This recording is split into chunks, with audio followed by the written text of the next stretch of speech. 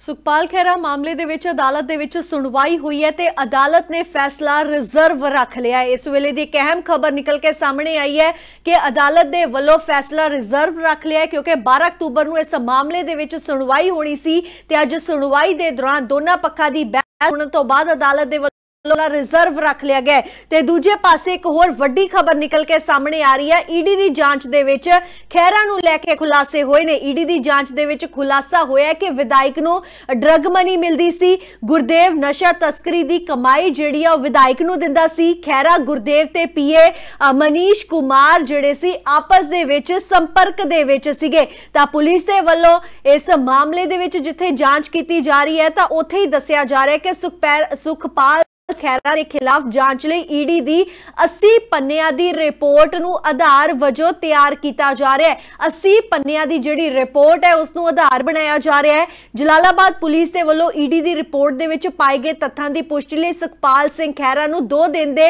Remand ਤੇ ਭੇਜਿਆ ਗਿਆ ਸੀਗਾ। ਤਾਂ ਕਿਹਾ ਜਾ ਰਿਹਾ ਹੈ ਕਿ ਐਸਆਈਟੀ ਈਡੀ ਈਡੀ ਦੀ ਜਿਹੜੀ ਰਿਪੋਰਟ ਆ, ਉਸ ਦੀ ਜਾਂਚ ਕਰ ਰਹੀ ਹੈ ਤੇ ਉਸ ਨੂੰ ਹੀ ਆਧਾਰ ਬਣਾਇਆ ਜਾ ਰਿਹਾ ਹੈ। ਰਿਪੋਰਟ ਦੇ ਅੰਦਰ ਜੋ ਸੂਤਰਾਂ ਦੇ ਹਵਾਲੇ ਤੋਂ ਖਬਰਾਂ ਨੇ, ਦਾਅਵਾ ਇਹ ਕੀਤਾ ਗਿਆ ਕਿ ਕਿ ਸੁਖਪਾਲ ਸਿੰਘ ਖੈਰਾ ਗੁਰਦੇਵ ਸਿੰਘ ਤੇ ਚਰਨਜੀਤ ਕੌਰ ਇੱਕ ਦੂਜੇ ਦੇ ਸੰਪਰਕ 'ਚ ਸੀ ਤੇ ਪੈਸੇ ਸੁਖਪਾਲ ਖੈਰਾ ਕੋਲ ਜਾਂਦੇ ਸੀ।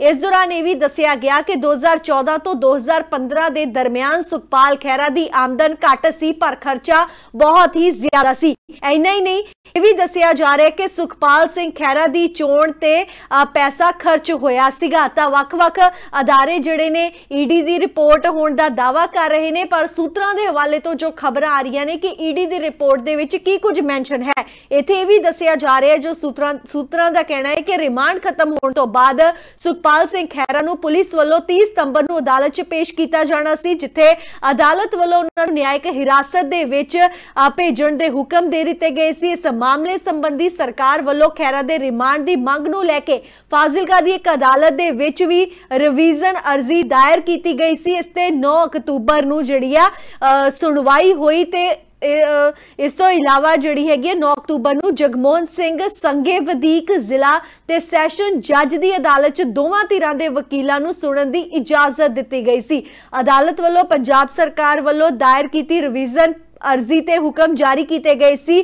10 ਅਕਤੂਬਰ ਨੂੰ ਸੁਖਪਾਲ ਸਿੰਘ ਖਹਿਰਾ ਨੂੰ ਜਲਾਲਾਬਾਦ ਅਦਾਲਤ ਦੇ ਵਿੱਚ ਪੇਸ਼ ਕੀਤਾ ਜਾਏ ਤੇ ਫਿਰ ਉਸ ਨੂੰ ਨਿਆਇਕ ਹਿਰਾਸਤ ਦੇ ਵਿੱਚ ਭੇਜਣ ਦੇ ਹੁਕਮ ਜਾਰੀ ਕਰ ਦਿੱਤੇ ਗਏ ਸੀਗੇ। ਇਸ ਤੋਂ ਬਾਅਦ ਬੀਤੇ ਦਿਨ ਸੁਖਪਾਲ ਖਹਿਰਾ ਨੂੰ ਜਲਾਲਾਬਾਦ ਦੀ ਅਦਾਲਤ ਦੇ ਵਿੱਚ ਪੇਸ਼ ਕੀਤਾ ਗਿਆ, ਜਿੱਥੇ ਜੱਜ ਰਾਮਪਾਲ ਦੀ ਅਦਾਲਤ 'ਚ ਦੋਵਾਂ ਧਿਰਾਂ ਦੀਆਂ ਦਲੀਲਾਂ ਸੁਣਨ ਤੋਂ ਬਾਅਦ 12 ਅਕਤੂਬਰ ਦਾ ਪੁਲਿਸ ਰਿਮਾਂਡ ਦਿੱਤਾ ਗਿਆ ਸੀਗਾ। ਅੱਜ ਦੁਬਾਰਾ ਤੋਂ ਜਿਹੜੀ ਆ ਪੇਸ਼ੀ ਹੋਈ ਆ ਸੁਣਵਾਈ ਹੋਈ ਆ ਅਦਾਲਤ ਦੇ ਵਿੱਚ, ਤਾਂ ਜਿੱਥੇ ਫੈਸਲਾ ਜਿਹੜਾ ਆ ਰਿਜ਼ਰਵ ਰੱਖ ਲਿਆ ਗਿਆ ਹੈਗਾ। ਸੁਖਪਾਲ ਸਿੰਘ ਖਹਿਰਾ ਵੱਲੋਂ ਹਾਈ ਕੋਰਟ 'ਚ ਜ਼ਮਾਨਤ ਦੀ ਅਰਜ਼ੀ ਵੀ ਦਿੱਤੀ ਗਈ ਆ।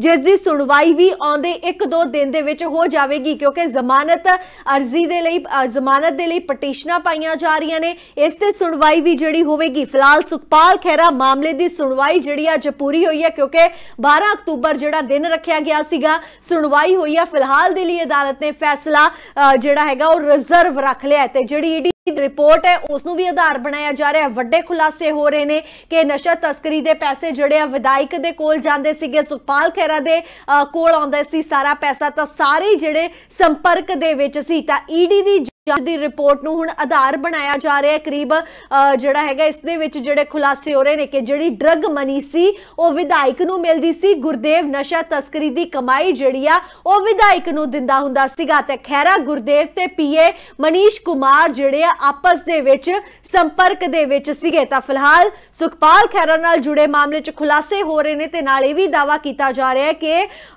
ਸੁਖਪਾਲ ਖੈਰਾ ਅੱਜ ਅਦਾਲਤ ਦੇ ਵਿੱਚ ਸੁਣਵਾਈ ਹੋਈ ਹੈ ਤੇ ਫਿਲਹਾਲ ਅਤੇ ਫੈਸਲਾ ਰੱਖ ਲਿਆ